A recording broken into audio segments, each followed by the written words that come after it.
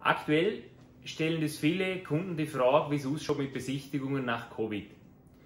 Manche haben Angst davor, dass zu viele Besichtigungen stattfinden könnten in ihrem Haus.